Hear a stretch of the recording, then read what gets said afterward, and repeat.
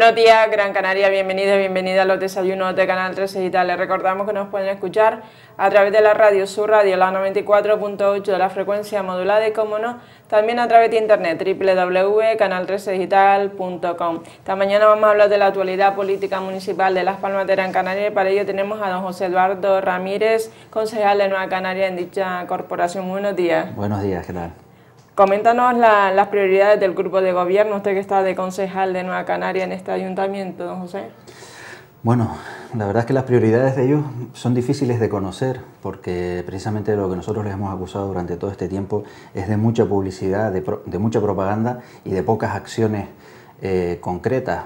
Por definirlo así muy rápidamente, ellos han presentado tres planes, que los han presentado un muy platillo, el plan de empleo que se llama Reactiva, un plan en el que, según la ficha financiera que ellos recogían, que nosotros entendemos que, a Las Palmas de Gran Canaria le hace falta un plan de empleo, sin lugar a dudas, estamos hablando de una de las capitales de provincia con más paro de todo, de todo el Estado, y ellos planteaban un plan de empleo con una ficha financiera de 18 millones de euros para tres años. 18 millones de euros para tres años.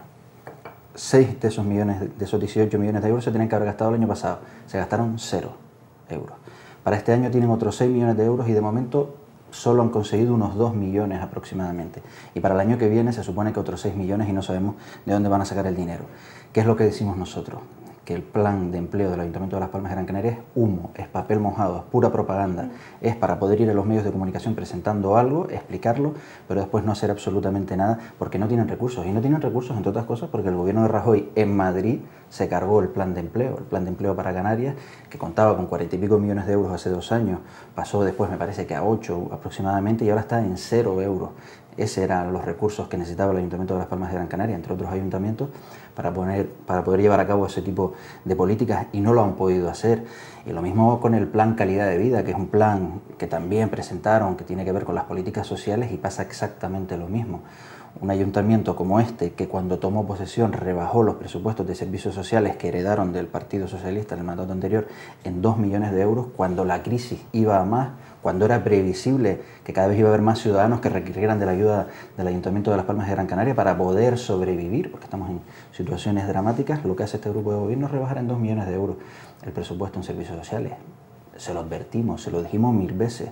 Nos dijeron que no, que ellos con menos harían más. Es absolutamente imposible en este tipo de cuestiones hacer eh, más políticas cuando tienes menos recursos.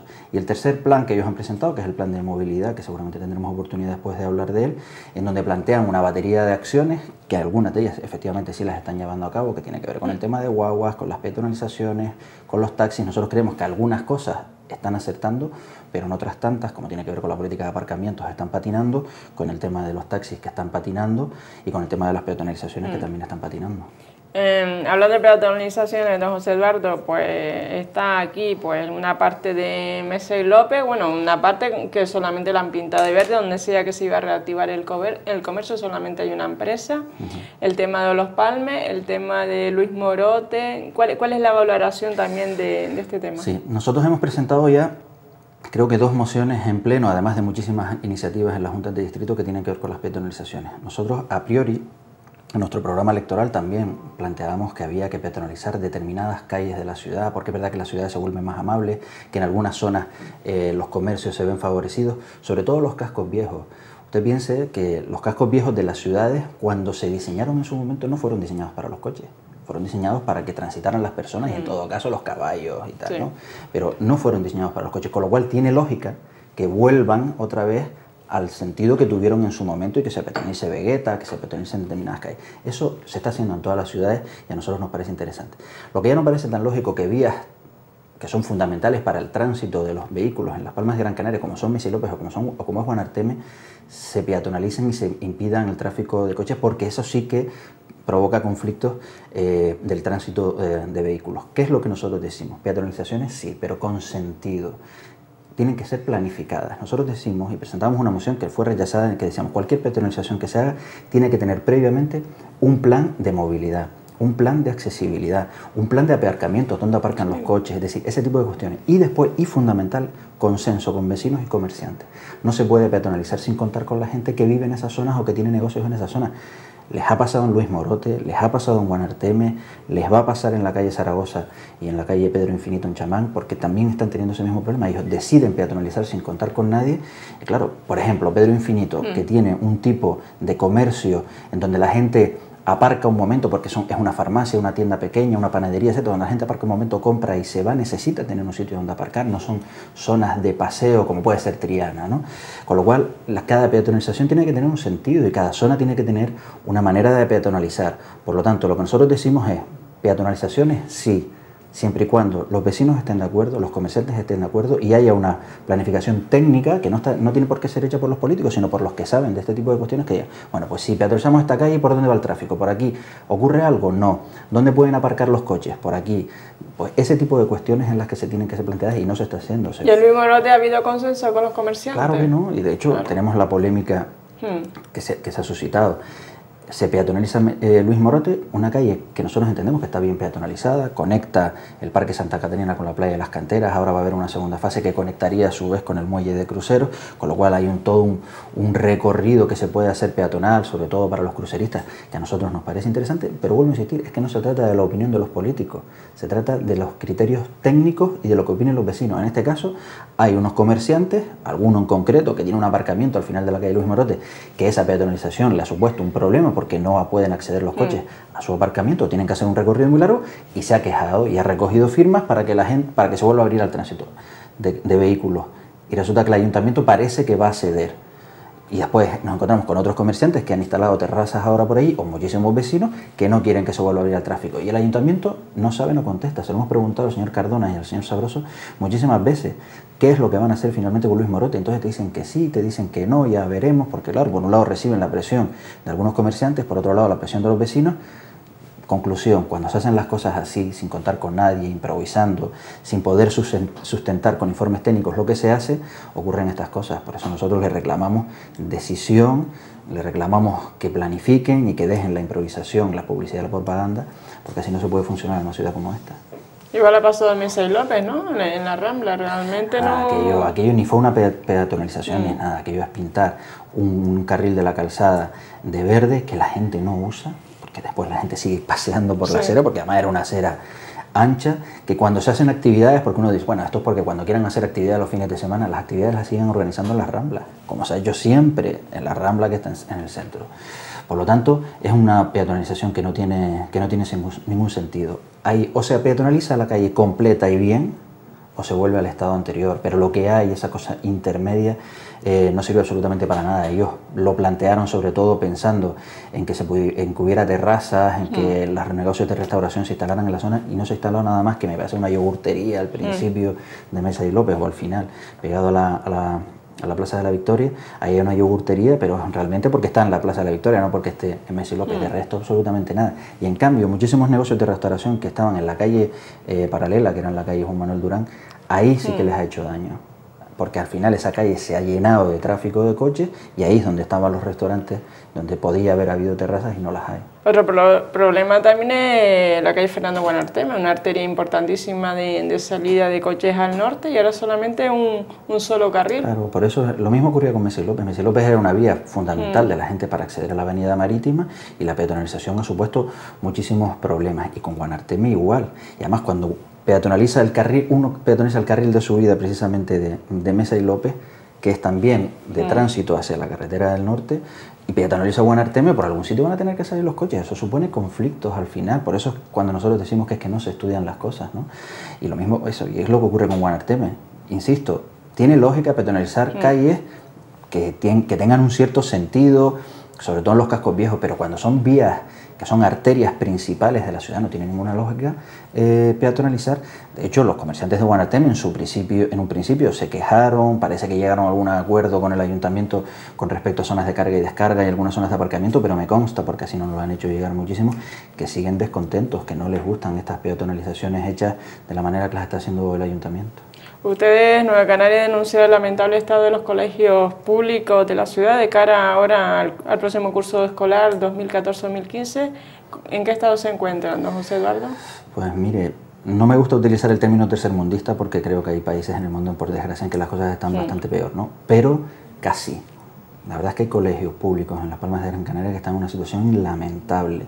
Nosotros hemos dedicado estos últimos dos meses a visitar muchísimos colegios de todos los distritos, no para que nos canten el cumpleaños feliz como le hacen el señor Cardona cuando visita los colegios o para que nos saquen fotos, sino para ver exactamente el estado de los colegios, porque habíamos recibido muchísimas quejas de muchísimos directores y es tremendo hay situaciones, además de que provocan inseguridad, yo no quiero alarmar a nadie, pero creo que las cosas hay que contarlas como son. Hay porterías que no están ancladas al suelo, canastas que no están bien ancladas.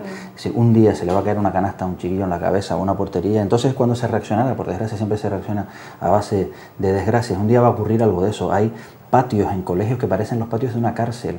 No hay ni un banco donde sentarse, no hay ni un poquito de sombra, no hay porterías, no hay canastas, porque muchos directores han decidido quitarlas ellos mismos para evitar un problema y donde los chiquillos lo único que pueden hacer es pasear como si estuvieran en una cárcel, pero tal cual. Además de que el, estado del suelo es lamentable porque si un chiquillo se cae ahí posiblemente tenga eh, bastantes problemas. Por lo tanto, hay una sensación de dejadez, de que no se está actuando. Ustedes saben que la competencia del mantenimiento de los colegios públicos eh, es municipal.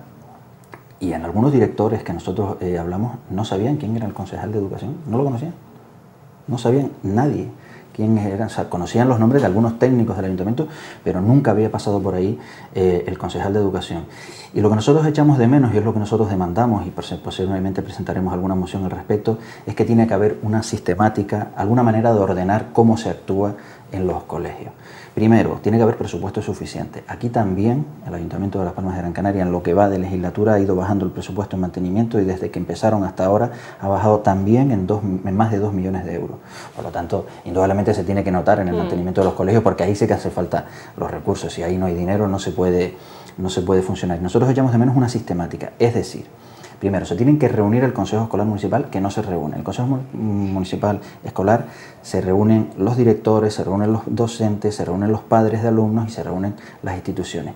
Y ahí decidir unos mínimos, unos mínimos que tienen que tener todos los colegios. Unos mínimos. Y hay que actuar urgentemente sobre esos mínimos. Y después ir decidiendo en dónde se va actuando dependiendo de las necesidades de cada colegio. Eso no existe. ¿Sabe cómo funcionan las cosas ahora? Si el director del colegio es un tipo persistente, permítaseme la expresión, que da el coñazo, que llama a la concejalía, es que me tienen que arreglar este muro, es que me tienen que se me están cayendo un muro porque tiene humedades, que nosotros los hemos visto, porque tengo un muro con humedades, se me está cayendo, se le va a caer un día un chiquillo. Si ese director llama y llama y llama y llama, a lo mejor consigue que le manden a alguien de mantenimiento.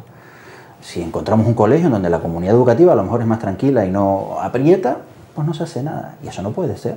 Lo que no puede ser es que eso no esté ordenado y sistematizado para que independientemente del director, independientemente de quién esté, las cosas se hagan según un baremo de necesidades mínimas.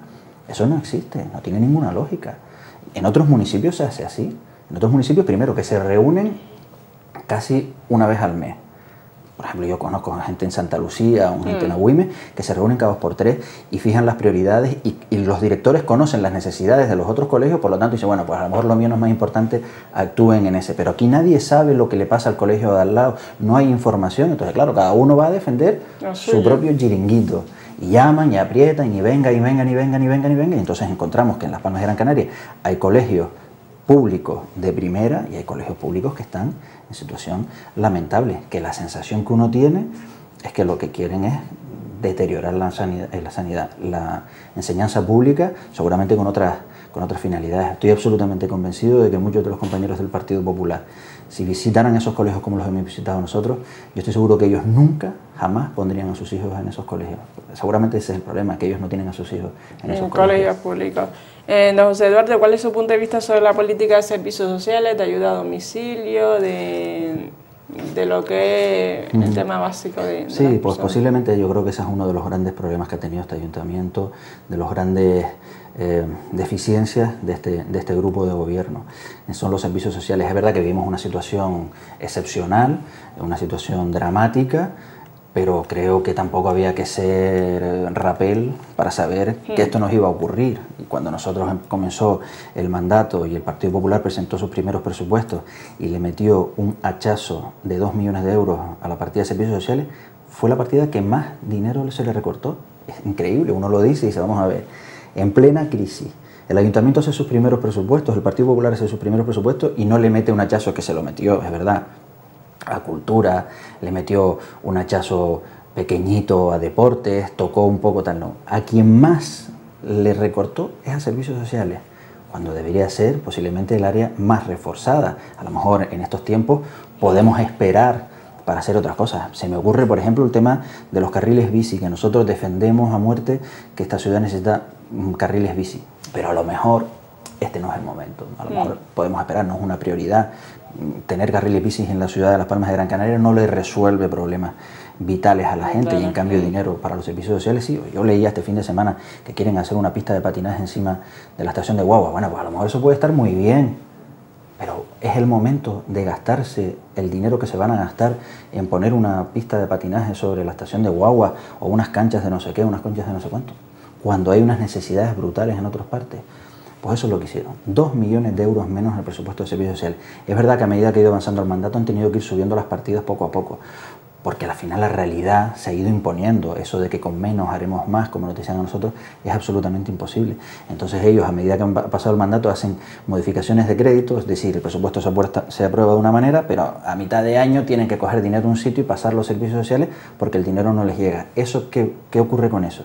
Que cuando eso no se prevé al principio de año y, y no se refleja en los presupuestos, como le hemos dicho desde la oposición Nueva Canarias, eh, en infinidad de ocasiones, si a mitad de año tenemos que cambiar el presupuesto, eso retrasa los servicios que se prestan desde servicios sociales. Y entonces ocurre que la gente va a pedir una ayuda de emergencia y tardan 7, 8 o 9 meses en concedérsela, cuando es una ayuda de emergencia. Es decir, la necesitan ya, porque cuando se la conceden a lo mejor ya el problema ya no tiene solución. Por lo tanto, claro, cuando al final ni se dedican los recursos económicos suficientes al área de servicios sociales, como estamos denunciando, cuando además tenemos a unos trabajadores que se están dejando la piel, eso es verdad, pero se están dejando la piel porque ellos se lo creen, hmm. pero no precisamente porque estén siendo motivados por parte del grupo de gobierno y del ayuntamiento, todo lo contrario. Hemos asistido a lo largo de este mandato a una persecución de los trabajadores públicos, les han retocado sueldos, les han quitado complementos, algunos de ellos les han precarizado su situación laboral de una manera brutal, el famoso, el famoso conflicto que hay con la RPT, en donde a hmm. muchos de ellos que eran estos laborales se les convirtió en funcionarios interinos lo cual significa que un laboral tiene unos derechos laborales consolidados, que si a un laboral se le echa a la calle como a cualquier otro trabajador, se le paga una indemnización según los años trabajados, etcétera, tiene derecho a paro, etcétera. Cuando a esa persona se le convierte en funcionario interino, lo que ocurre es que pierde absolutamente todos sus derechos. Un funcionario interino, el ayuntamiento mañana amortiza la plaza de ese señor y se va a la calle, y se va a la calle sin, indemnización y sin nada. Ese es el gran problema que tienen los trabajadores. Con lo cual, encima, pues la motivación se la tienen que buscar ellos mismos, pero no es precisamente el grupo de gobierno que los esté ayudando. Por lo tanto, menos dinero, trabajadores en una situación no precisamente cómoda. Es indudable que al final los servicios sociales del Ayuntamiento de Las Palmas de Gran Canaria se tienen que resentir. Otro asunto es el tema de empleo. ¿Qué acciones han hecho? Porque aquí hay muchísimos, muchísimos parados, teniendo en cuenta que, qué planes de empleo sociales ha hecho el Ayuntamiento. Ellos presentaron, como decía al principio, un plan que se llama Reactiva, pero que no es nada, absolutamente nada. Están organizando algún cursito, nosotros nos llega que, el concejal de, empleo, el señor Romero, se va, él mismo da algunas charlas en algunos sitios, pero son charlas para él lucirse, pero poco más. Es decir, eso no, no está consiguiendo que la gente se enganche al mercado laboral. Es verdad que el paro en los últimos meses ha bajado un poquito, pero yo creo que es coyuntural. La crisis va a acabar tarde o temprano acabará, se toca a suelo y tarde o temprano habrá que empezar a subir, pero no precisamente gracias a las políticas eh, del Partido Popular, entre otras cosas porque al final la situación en la que está quedando la gente que consigue trabajo, me lo pongo ejemplos, a nosotros nos vienen a ver al despacho gente desesperada, sabe que estamos en la oposición, sabe que nuestro margen de maniobra es mínimo y aún así vienen a vernos pidiéndonos ayuda. Y el otro día, por ejemplo, venía una señora que decía, mm, que tenía mujer, eh, marido y dos hijos. Trabajaba ella, su marido estaba en paro y ella tenía un contrato temporal y eh, a media jornada y ganaba 400 y pico euros. Ella decía, yo con eso no mantengo mi familia. Y como tengo trabajo, no tengo mm, derecho a ninguna ayuda, hmm. porque tengo trabajo. Por lo tanto, al final estamos hablando de pobres con trabajo, gente muy pobre que, que tiene hmm. trabajo eh, y que no le llega. Ante eso el Partido Popular presenta un plan de empleo con una ficha financiera de 18 millones de euros, ambicioso, yo no sé si ustedes lo vieron, un plan a, todo color, la verdad que era precioso mirarlo y leerlo pero para nada, no servía absolutamente para nada porque no había dinero para eso. Entre otras cosas porque primero Rajoy recortó el plan de empleo para Canarias, lo dejó en cero euros, con lo cual los, recursos había que buscarlos aquí. Mm. El gobierno de Canarias tiene el dinero que tiene y el Ayuntamiento de Las Palmas de Gran Canaria el dinero que tiene, que yo creo que tendrían que priorizar y habría que buscar el dinero donde sea eh, para ponerlo aquí. Pero, por ejemplo, nosotros denunciamos hace pocas semanas que ahora mismo el gobierno de Canarias está planteando un plan de empleo social con el que nosotros tenemos algunas diferencias y tenemos críticas, pero bueno, hay unos recursos ahí que se pueden gastar. El Ayuntamiento de Las Palmas de Gran Canaria, el Gobierno de Canarias pone la misma cantidad que pongan los ayuntamientos. Si el Ayuntamiento de, Las Palmas pone un millón, el Gobierno de Canarias pone otro millón. Si pone 100.000, pone 100.000. Bueno, pues el Gobierno de Canarias estaba dispuesto a poner 2 millones y algo, no recuerdo ahora la cantidad, pero eran algo más de 2 millones de euros para lo que queda de mandato. 2 millones es una cantidad importante y el ayuntamiento tiene que poner otros 2 millones, con lo cual había cerca de 4 millones y pico para un plan de empleo para las Palmas de Gran Canaria. Bueno, pues el ayuntamiento de las Palmas de Gran Canaria solo pone 350.000, por lo tanto el gobierno de Canarias solo pone 350.000, se pierden hmm. más, en total, entre lo que no pone uno y lo que no pone otro, casi 4 millones de euros para un plan de empleo para las Palmas de Gran Canaria. Me parece tremendo, tremendo que en una situación como esta el Ayuntamiento de Las Palmas de Gran Canaria no priorice el tema del empleo y que pierda dos millones de euros del gobierno de Canarias por no poner ellos otros dos millones. Y no vale la excusa de que los recortes presupuestarios, de que estamos mal, porque eso no es verdad. el ayuntamiento el año pasado tuvo superávit. El año pasado este ayuntamiento tuvo superávit, con lo cual tiene dinero, unos remanentes, que los han querido utilizar para pagar deuda, para devolverle dinero a los bancos y también para pagar proveedores, eso también una parte que han pagado proveedores, que se les había muchísimo dinero, que eso también es impresentable y parece, parece normal que se le pague dinero a la pequeña y mediana empresa que está endeudada, que, al que el ayuntamiento le debe dinero, pero creemos que había que priorizar y que ese dinero había que buscarlo y dinero había. Otros ayuntamientos muchísimo más pequeños han hecho un esfuerzo por poner ese dinero y no lo han puesto, por lo tanto al final pudiendo conseguir recursos, no los consiguen. No, entendemos por qué. Creemos que es porque no quieren llegar a acuerdos con el gobierno de Canarias, porque ese conflicto Partido Popular con Coalición Canaria y con el PSOE al final nos termina arrastrando a todos, pero nos parece absolutamente ilógico que en una materia como es la de empleo se, cometan esos errores, porque además quiero recordar, y es el último dato, cuando Cardona tomó posesión había 50.000 parados en Las Palmas de Gran Canaria, hoy hay 55.000, ahora un poquito menos, pero aproximadamente. 5.000 parados más en Las Palmas de Gran Canaria desde que Cardona gobierna. Por lo tanto, creemos que ahí mm. tiene algo que hacer y algo que decir. Mm, el tema también de la biblioteca del Estado, don José Eduardo, ¿piensa usted que, nos vamos a quedar sin biblioteca esta ciudad?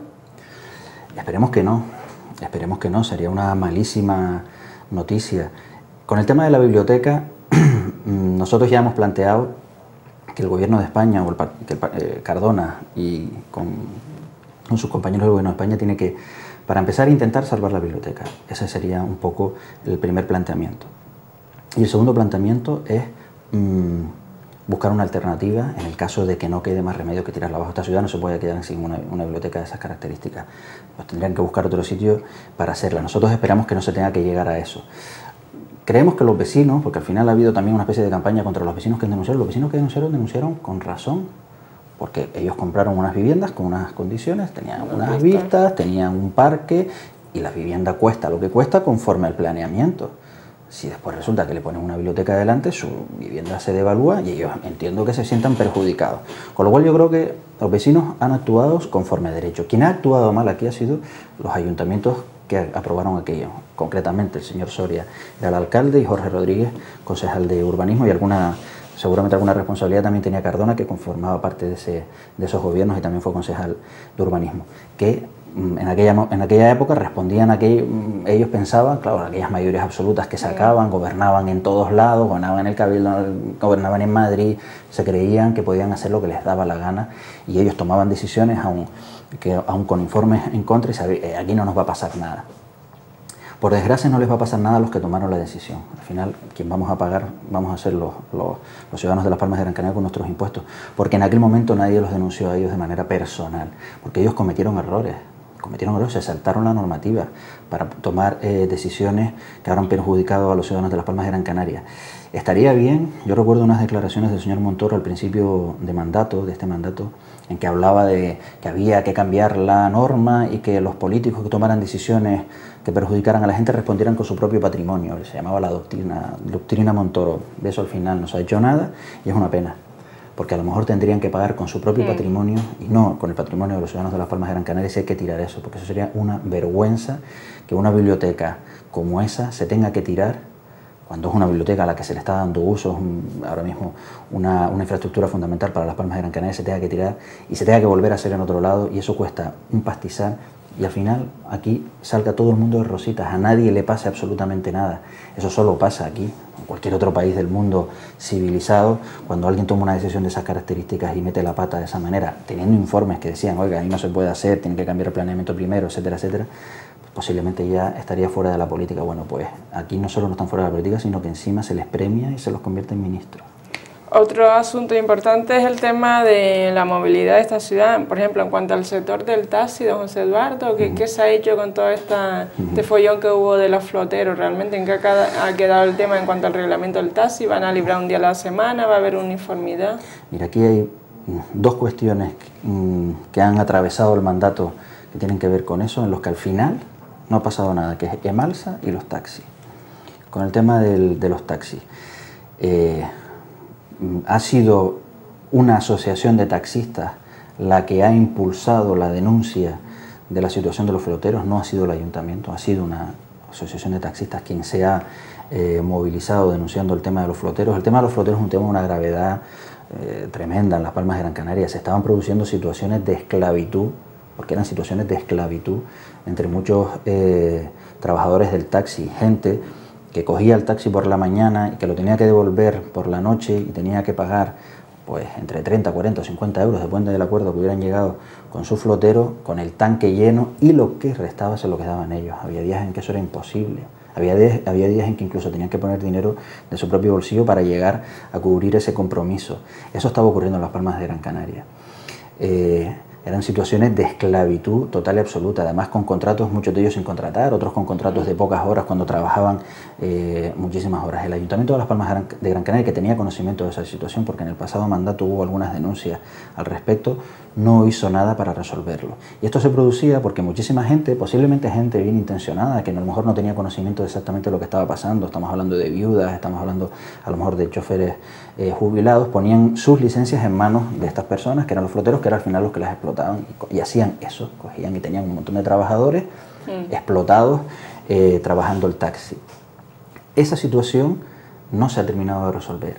El ayuntamiento ha sacado una ordenanza nueva para aparentar que se hacen cosas y nos nos ha entretenido en cosas que yo no digo que no sean importantes, como son el tema del uniforme, como son el tema de que algunos taxistas hablen idiomas, el tema del día libre, eso yo no digo que eso no sea importante, es importante, estamos hablando de un servicio que se le presta a la ciudadanía, que se le prestan muchos turistas y tienen que, los taxis tienen que estar en condiciones, los taxistas tienen que ir vestidos de manera presentable, si tienen una cierta formación sobre la historia de la ciudad o, o hablan algunos idiomas, pues muchísimo mejor, pero el grave problema que era el tema de los fronteros no lo resuelve la ordenanza sigue permitiendo, solo la ordenanza de Las Palmas de Gran Canaria, no hay ni una en toda Canarias que lo permita, sigue permitiendo la multipropiedad de licencias por parte de una persona. Puede tener hasta cinco licencias eh, alguna persona. Eso es de manera regular, de manera formal, pero de manera irregular, que era como estaba ocurriendo, no impide que eso ocurra, entre otras cosas, porque eso se detecta a través de las inspecciones y esta nueva ordenanza reduce el número de inspecciones que se van a hacer. Por lo tanto, es más difícil detectar si hay un trabajador del taxi que está siendo contratado de manera fraudulenta. Por lo tanto, no se resuelve el problema. Y no se resuelve el problema porque el Ayuntamiento de Las Palmas de Gran Canaria no sabemos por qué no está escuchando a las asociaciones de trabajadores autónomos ni a las asociaciones de, de trabajadores del taxi, sino solo a uno de los colectivos de taxistas que defiende ese mundillo de los floteros, etc. etcétera. Y parece que el ayuntamiento se ha alineado eh, con esa gente. A nosotros nos parece absolutamente impresentable. Y al final la prueba del algodón es la siguiente. Hay una denuncia de la, de la Administración Tributaria y otra de la Seguridad Social que está siendo sustanciada en un juzgado. Lo normal es que el ayuntamiento, que es el propietario de las licencias, se persone. Oiga, me están estafando a mí, que soy el propietario de las licencias lo normal es que uno se persone y diga, bueno, pues yo quiero llegar hasta el final y quiero que eh, las máximas condenas a todos aquellos que nos han estado robando o que han estado haciendo un uso ilícito de nuestras licencias. El ayuntamiento no se ha personado. El ayuntamiento no tiene interés en que esto se aclare. ¿Cómo es posible? ¿Sabes lo que nosotros creemos? Que el ayuntamiento no se persona porque tiene miedo a que a lo mejor en la personación el juez diga, no, no, ustedes no se pueden personar porque a lo mejor acaban siendo imputados. por dejación de funciones, por no controlar, para no adelantar ese paso que se puede mm. producir en cualquier momento, en cualquier momento el juzgado imputa al ayuntamiento. Si el ayuntamiento se persona, posiblemente eso ocurra antes, por eso no lo hacen. Eh, en cuanto al transporte público, José Eduardo, ¿cómo, cómo lo, lo, percibe? el tema de guaguas municipales y después también el tema de la zona verde de estacionamiento que está llena por toda esta ciudad. Sí, con el tema de guaguas municipales reconocemos, por no decir que todas las cosas se hacen mal, reconocemos un esfuerzo por intentar mejorar las cosas y una apuesta valiente eh, por cambiar determinadas cuestiones dentro de huevos municipales. En algunas cosas ha acertado y en otras no.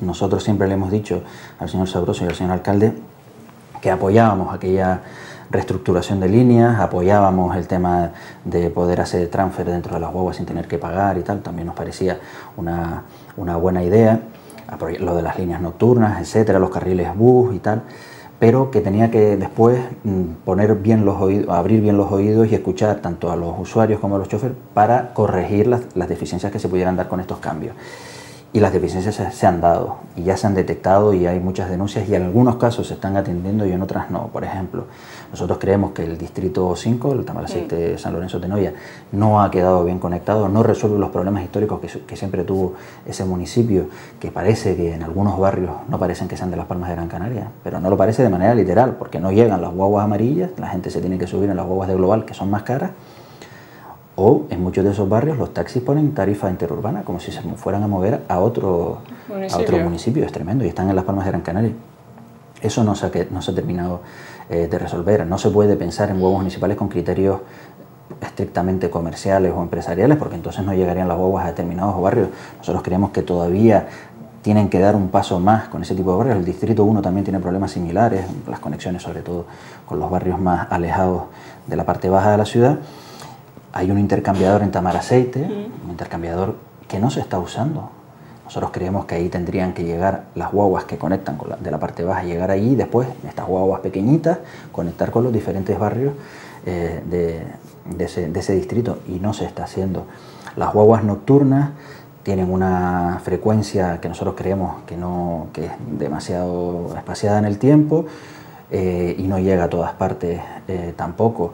Algunas guaguas han retrasado su primera salida. Yo, por ejemplo, le pongo casos concretos de compañeros que nos dicen, mire, yo antes cogía la guagua en San Telmo que me llevaba al Lomo Polinario, la cogía a las 7 de la mañana y llegaba mi trabajo, que empiezo a las 8, llegaba bien de tiempo. Han retrasado, esa guagua ya no sale a las 7, ahora sale la primera, sale a las 7 y media, llego a, a tarde a trabajar todos los días. Se me ha supuesto un conflicto en mi trabajo porque no tengo otra manera de llegar que en la guagua. Pues esa media hora de retraso supone que un montón de gente en lomo polinario esté cambiando sus horarios, esté cambiando tal porque están llegando tarde. Bueno, pues ese tipo de cuestiones son las que el ayuntamiento tiene que escuchar y tiene que corregir. Tiene que ver línea por línea, guagua por guagua, exactamente qué es lo que los ciudadanos les están pidiendo la zona alta de la ciudad, Ciudad Alta está mal conectada, la línea 33 se ha convertido en una línea que recorre casi toda Ciudad Alta y que muchas veces en horas puntas en la tercera parada ya se llena. Por lo tanto, la guagua no para en las siguientes paradas, porque va llena. Y entonces hay muchísimos ciudadanos que se quedan, pues van pasando guaguas y no se pueden subir. Con lo cual, nosotros creemos que o se refuerza la línea o se separa, que creo que es una de las ideas que se está planteando, y crear alguna otra, como estaba antes, la 3, la 3 y la 33, perdón, la 3 y la 30, en donde se pudieran más o menos dividir los recorridos y tal. Yo creo que ese sería el planteamiento. Zona azul y zona verde nosotros hemos criticado durísimamente ese tema. El ayuntamiento ha convertido la Concejalía de Movilidad en la nueva Concejalía de Hacienda. Se recauda más a través de movilidad casi que a través de la Concejalía de Hacienda. Entre la zona azul, la zona verde, las multas o el precio de los aparcamientos mm, públicos, los aparcamientos públicos son prohibitivos. Una persona que va a hacer una gestión y aparca en el, en el aparcamiento que está al lado de las oficinas municipales, a lo mejor va a pagar algo que le cuesta un euro y medio o dos y paga más en el aparcamiento que en la gestión que va a hacer son absolutamente disuasorios. Nadie se mete en un aparcamiento público porque como se tire uno más de una o dos horas puede pagar 3, 4, 5, 6 euros. Son precios absolutamente disparatados. Nosotros creemos que siendo aparcamientos públicos, incluso aquellos que no son públicos pero que son concesiones públicas, tienen que negociar precios competitivos, precios que hagan que la gente aparque sin ningún tipo de problema. La zona azul y la zona verde. La zona azul está bien en las zonas comerciales o en las zonas cerca de edificios administrativos, porque son, uno mm. va, aparca, hace las gestiones que tenga que hacer y se mueve. Perfecto. El problema es que aquí se está poniendo zona azul en zonas residenciales. Por ejemplo, la Gileta, con un gran mm. conflicto al respecto. Estoy pensando en la Avenida Marítima, en la Avenida Alcalde Ramírez Betencura y determinadas zonas en donde lo más comercial que hay es una crosantería en una esquina. Todo lo demás son viviendas y ahí está lleno de zona azul. Mm. Con lo cual, ¿cuál es ahora el objetivo? Recaudar dinero, no es precisamente facilitar ese tipo de cuestiones. Y la zona verde igual. Nosotros lo que planteamos con la zona verde es, mm, primero, que se tiene que consensuar con los residentes de la zona si efectivamente quieren zona verde o no. Pues se está poniendo zona verde en, determinados barrios, en, Arenales y Alcaravaneras que están vacíos, porque los vecinos no la usan, no la querían. Y claro, si los vecinos no la usan y el resto de mm. ciudadanos solo podemos estar una horita ahí, al final están vacíos. Y, y el paso que ha dado el ayuntamiento encima es cuadruplicar las multas. Antes, si uno se pasaba un ratito, pagaba 2 euros, o 4 en el peor de los casos, y ahora paga entre 15 y 25 euros. Que es un asalto. Es un asalto. Es brutal. Lo que no puede ser es que la multa sea mucho, muchísimo mayor que la cantidad que uno tiene que pagar. Y entonces, claro, cuando ahora ya le está llegando a la gente las multas, porque normalmente se ocupa cuando te mandan las multas, te manda dos o tres seguidas, y antes te llegaban y te llegaban 8 euros, 12 euros, pero ahora a la gente le están llegando 100 euros del zapatazo claro, hasta la gente que se sube por las paredes. Porque es que es normal que uno un domingo aparque el coche y que a lo mejor sufre un retraso por lo que sea y el lunes por la mañana no llega a tiempo y se encuentra con una multa de 25 euros. Y eso hay ciudadanos en Las Palmas de Gran Canaria con una multa de 25 euros es el mes. 25 euros es dejarles en una situación muy fastidiada.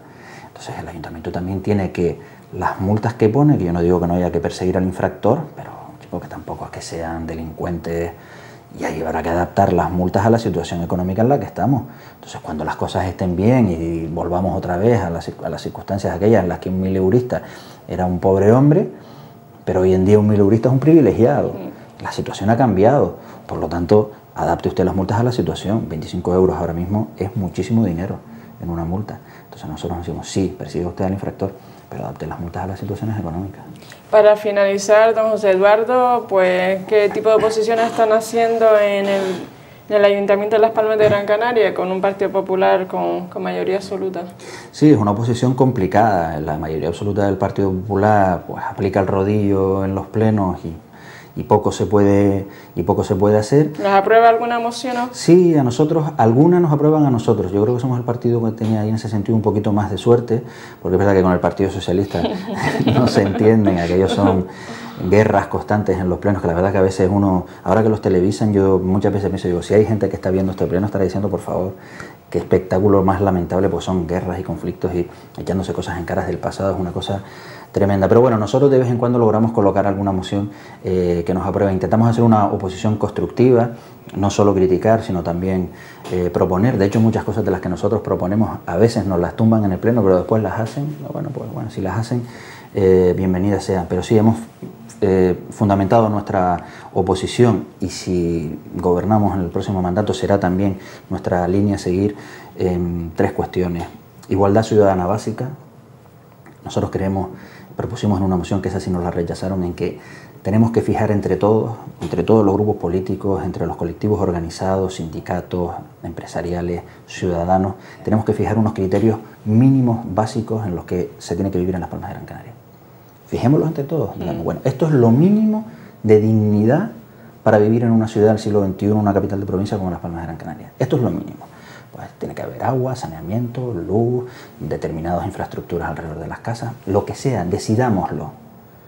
Una vez que decidamos qué es lo que queremos, qué es lo mínimo, tenemos que hacer que en esta ciudad todo el mundo viva con lo mínimo. Aquí no hay necesidad de vivir con lujo, pero con dignidad sí. Y aquí hay gente que vive de manera indigna. En Las Palmas de Gran Canaria hay gente en el siglo XXI que todavía no tiene saneamiento en sus casas. Existen barrios en Las Palmas de Gran Canaria en esas circunstancias, o inaccesibles totalmente. Nosotros conocemos de sitios en donde gente que vive en silla de ruedas vive atrapada en sus casas, atrapada porque no puede salir, o atrapada en una manzana porque no tiene cómo bajar, pues no hay eh, un rebaje. Es decir, cuestiones mínimas que tenemos que pactar entre todos y las tenemos que poner en marcha. Esa sería nuestra primera tal. Y hasta que eso no se cumpla, después no gastaremos el dinero en las fiestas de los perritos, en, en, los carriles bici o en poner una cancha de hockey en la estación de huevo. Pero hasta que no esté resuelto lo mínimo de dignidad, esas cosas tienen que esperar. Eso es lo primero que nosotros planteamos. Lo segundo que nosotros planteamos es identidad. Tenemos que reforzar los elementos identitarios de las Palmas de Gran Canaria, nuestro patrimonio histórico, el Castillo de la Luz, que nosotros creemos que se le ha dado un uso nosotros preferíamos que fuera un museo de sitio, un museo que costara la historia eh, de las batallas navales que vivió eh, esta ciudad. Creemos que hay que recuperar la cueva de los canarios en la isleta, creemos que tenemos que reforzar el Museo Canario, tenemos que abrir de una vez el Castillo de Mata, eh, porque además todo eso generará economía a su alrededor. Entonces nosotros creemos que hay que crear empleo a través de reforzar nuestra identidad como pueblo. La gente de Las Palmas de Gran Canaria no conoce su historia. Nuestros chicos no conocen su historia. La mayoría de nosotros no sabemos qué ha ocurrido en esta ciudad desde que fue conquistada, y mucho menos antes. Por lo tanto, creemos que eso hay que reforzarlo para nosotros y para los que nos visitan. Y como tercer elemento fundamental, la participación. Hay que abrir las administraciones públicas a la participación de la gente. Por eso yo insistía tanto en el consenso con el tema de las de las peatonalizaciones, con el consenso con los ciudadanos del tema de la zona verde. Hoy las, las redes sociales y las nuevas tecnologías, que ya no son nuevas tecnologías porque llevan, llevamos años hablando de nuevas tecnologías, eh, nos permiten poder consultarle a la gente y no se hace. Las juntas de distrito tienen que convertirse en juntas de verdad, en donde los ciudadanos de a pie puedan opinar y puedan incluso organizarse para poder participar. Y al final las juntas de distrito son plenos, chiquititos, en donde los mismos que estamos en el en el Pleno Municipal tenemos representantes de los plenos y discutimos de las mismas cosas, representamos a la misma gente, eso no puede ser. Todas las juntas de distrito tienen mayorías absolutas del PP, con lo cual mm. no se decide nada. Un ciudadano normal de a pie que quiera proponer cosas tiene dificultades tremendas para poder proponer y que se vote de verdad, porque al final sí, los ciudadanos proponen, pero como las mayorías son las que son, al final volvemos otra vez a decidir los partidos políticos. Por lo tanto, esas serían las tres cuestiones. Eh, igualdad ciudadana básica, identidad y patrimonio y participación. Esas son las tres ejes fundamentales de nuestra oposición y lo serán de si alguna vez tenemos la suerte de que nos toque gobernar de nuestra acción política. Pues nada, pues muchísimas gracias, don José Eduardo Ramírez, por estar aquí esta mañana. gracias, y suerte para Nueva Canaria. Espero que la entrevista con don José Eduardo Ramírez, concejal de Nueva Canaria en el Ayuntamiento de Las Palmas de Gran Canaria, haya sido sagrado y recordar que esta entrevista es colgada en el Facebook de Canal 13 Digital. Muy buenos días, Gran Canaria.